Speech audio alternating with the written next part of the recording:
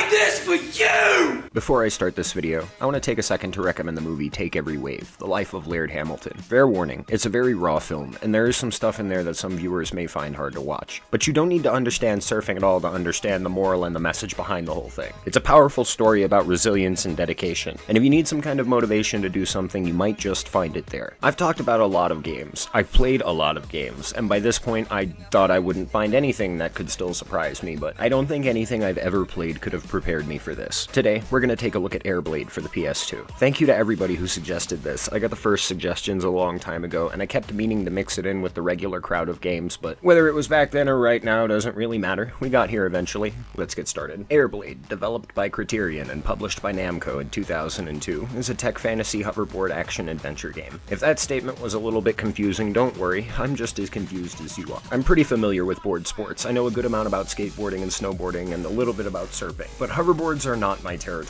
Back when this game came out, hoverboards weren't actually a thing that existed, but these days there are actually real hoverboards, and they're nothing like science fiction thought they would be. If you've never seen it before, the Lexus Slide was a real hoverboard that used maglev technology to sustain itself above the ground. Half of the technology was the park itself. Crazy as it is, we live in a world where we have actual fucking levitation. Isn't that amazing? Back on topic, the lead programmer for this game actually had a whole team full of people who previously had experience with exactly this kind of game. Quite a few of the programmers previously worked on the game TrickStyle in 1999. There's also a massive chunk that worked on the original Burnout trilogy. This kind of record always makes me feel a little bit better before going into something. The story here is kind of crazy. You play as a guy who lives in an apartment with this other guy and this girl. I didn't really take the time to learn their names, so we'll just call them Thing 1 and Thing 2. Apparently, Thing 1 stole a hoverboard from some mobsters, so they show up and kick his ass to take it back. Thing 2 tells us to go get it and don't let the bad dudes get a hold of it. The player character then takes this package, opens it, learns that it's a hoverboard, and for some reason everybody decides that it's just absolutely necessary to put everybody in danger over this thing. So we keep it. I don't know what the hell is happening honestly, this is like a fever dream. I really would love to have a conversation with the beautiful mind that wrote the story because there's a level of creativity here far beyond that of most other games. For starters, why the fuck do these mobsters want this hoverboard so badly? What kind of world is this where a mobster wants a hoverboard so much that he's willing to beat up and kidnap a bunch of 90s college kids? Also, why are the rebellious heroes a bunch of 90s college kids? Before I move on to the gameplay, I'm gonna be 100% real and tell you that I didn't finish the game. I actually am very curious about the story. I have many questions. But there are some things about this game that really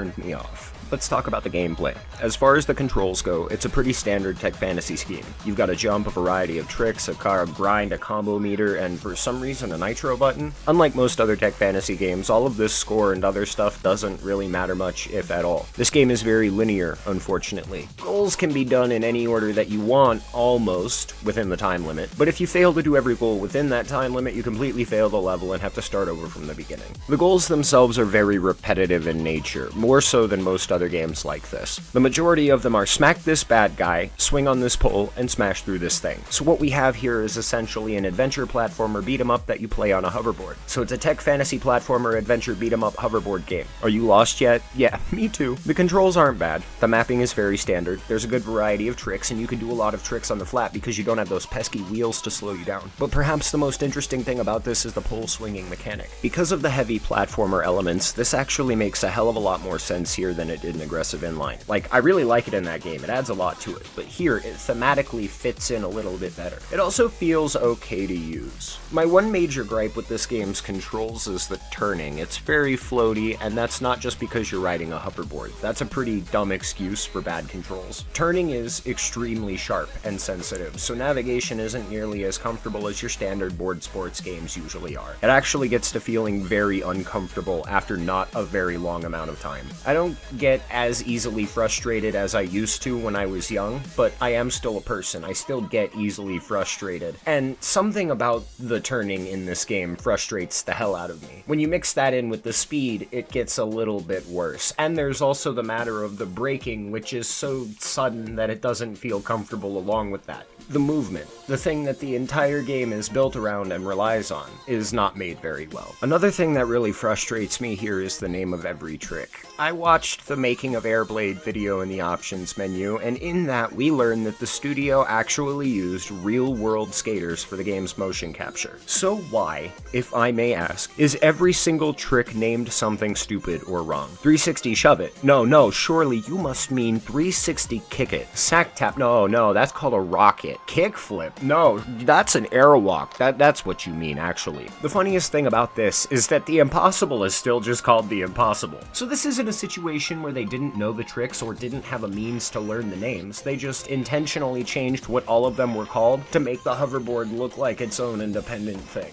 The behind the scenes bonus film was actually a great insight into a lot of the thoughts that went into making this game, but unfortunately, the actual intentions make a lot of the decisions much worse. Visually, this game looks like garbage. The team had some of the worst graphics ideologies I've ever seen in a PS2 title. The original concepts for the character art that gets shown off in the behind the scenes film are badass, and more grounded in the fantasy feeling of the whole thing. But apparently, when Namco got involved, suddenly the idea of a fantasy game was completely thrown out the window. The new goal was make it realistic, and seriously, whoever made that decision should have been fired. It isn't just me, right? It's pretty obvious why that didn't work. Criterion tried to make their science fiction fantasy hoverboard action game into a realistic action sports title. The character designs all suffer tremendously for it, but they aren't even the worst part. The absolute worst part of the visuals is the level design. It's dismal, gray, boring, and horrible to look at. Something that makes it worse is that the actual map layouts are headache inducing. So many objects are put in some horrible spot, and a huge bulk of the goals will have you moving from the ground to the rooftops at random. The whole point was to put a great emphasis on the pole swinging mechanics, but that often hurts a lot more than it helps. Many of the rooftops are unguarded and thin, so it's very easy to fall and lose a lot of time.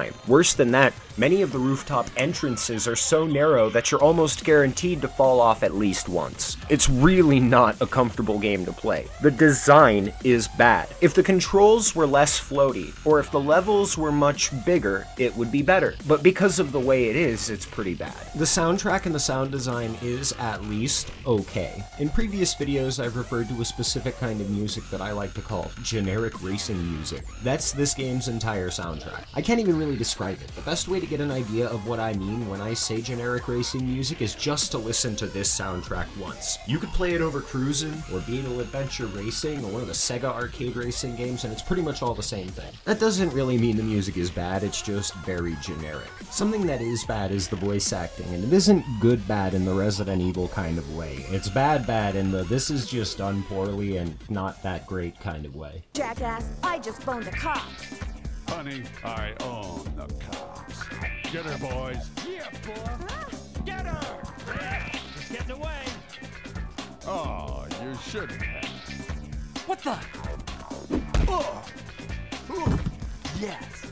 The sound effects are fine, at least, you know, that's something. Finally, there is no real world hoverboard footage because hoverboards literally did not exist when this game came out. But if you watch the making of movie, there is actually some behind the scenes real world skateboarding footage in there because of the mocap stuff. The problem with including behind the scenes things in your games is that you explain a lot of the thought process that goes into them. And a big part of appreciating something that is done bad is not knowing what the actual thought process was. So, like, knowing that some of the bad decisions were made intentionally really hurts the game a lot more than it helps in this instance. Like, if the visual and gameplay mistakes were constraints of the project itself and the deadline and the budget, then that would have been a lot more understandable. But the keyword realism popping up all over the place and the weird decisions on every front to make this some kind of tied into reality thing, that all really served to be a detriment to the game in the long run. This was the age of renderware, and Criterion was using renderware. If they stopped and looked at any other game that was made with the exact same engine,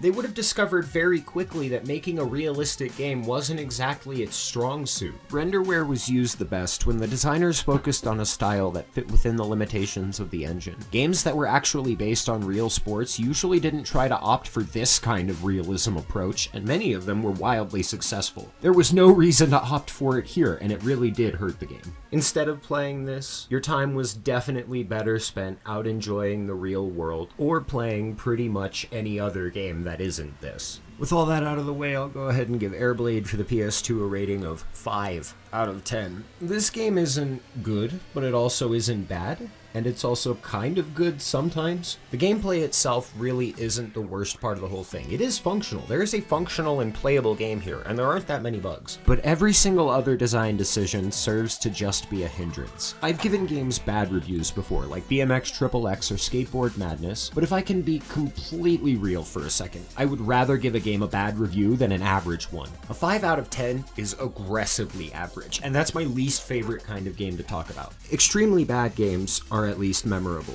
and the time spent going through them solely for the experience is worth it to some degree. Sort of like the movie The Room by Tommy Wiseau. I won't remember much about this game, but I do remember games that are much worse than this. This has no memorable moments or characters. There's no new memorable addition to the gameplay formula. There's practically no difficulty aside from the jankiness of it all, and I'm sick of staring at the color gray. The only thing I'll remember about this game in one year is that it was a boring hoverboard game that I spent a little bit of time with and that's a tragedy. That being said, I am at least glad that I played it so I could cross it off of the list. I'm also glad that it gave me an opportunity to talk a little bit about the thought process I go through when I rate a game. But this is a huge pass for me, dog. If it looks like it's for you, then go ahead and give it a shot. It's not terrible, it's just definitely not for me. Now that I'm done with all that, you probably already know what's next. It's finally time to take on the Goliath that is Tony Hawk Ride and Shred. I don't want to say anything yet. I'll talk about everything during the video. If you've been here since Pro Skater 5, then you've probably been waiting for this for a while. But if you haven't seen my Pro Skater 5 review, then it's worth going back and watching that, as well as the HD 2012 review before I release Ride and Shred.